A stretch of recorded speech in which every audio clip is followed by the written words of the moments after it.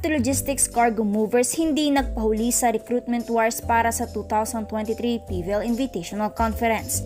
UAAP Season 85 3 awardees official nang sumali sa F2 Logistics. Best Setter and Finals MVP Mars Alva, Best Opposite Hitter Jovelyn Fernandez, and Best Outside Hitter Julina De La Cruz sa Nipuersa para sa mas malakas na kampanya ng F2. At Ivy Laxina paghaharian ng Pool B ng PVL Invitational. For the gold medal na nga ba?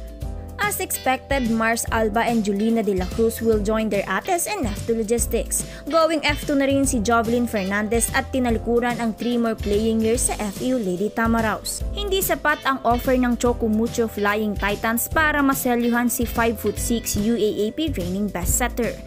Pinaasa nila sa standout ang sangkatutak na Baby Bra Warrior sa side ng Flying Titans.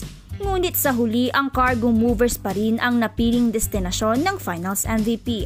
Magagamit ng F2 Logistics ang galing ni Mars Alba sa blockings, serving at sa setting.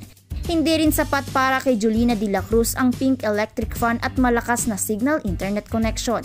Leadership at galing sa depensa naman ang pambato ng 5'9 reigning best outside hitter.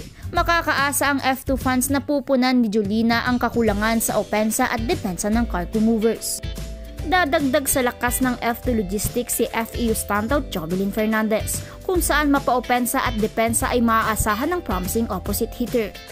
Naging kontrobersyal kamakailan si Jovelyn dahil sa kontrobersyal na Best Opposite Award nito versus Eliza Solomon ng NU Lady Bulldogs.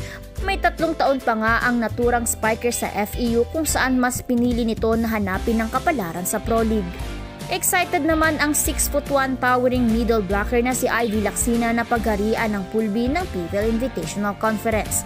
Makakalaban ng F2 sa naturang pool ang Signal HD Spikers, last PVL silver medalist Petrogas Angels, Chocumucho Flying Titans at fresh team na Farm Fresh. Matatandaan na nilang paso ng F2 Logistics ang Creamline Pool Smashers sa elimination round ng PVL All-Filipino Conference. Ang nag-iisang team sa PVL na kayang tapatan ang bilis at liksi ng Pool Smashers. Sa inclusion ng tatlong UAAP Season 85 awardees, kasama pa ang puwersa ng mga veterans like Abby Maranyo, KKD, Majoy Baron, Kim Fajardo, Myla Pablo, Ara Galang at Don Macandili ay makakaasa ang F2 fans na mas malakas na cargo movers ang masisilayan sa papalapit na Invitational Conference. Makukuha na ba ni Coach Regine Diego ang kauna-unahang ginto para sa F2 Logistics Cargo Movers? Yan ang ating abangan. Salamat sa pagtutok mga ka-Spike. Sana nag-enjoy ka at sana di ko nasayang oras mo. Kaya don't forget to like and subscribe. Salamat sa suporta.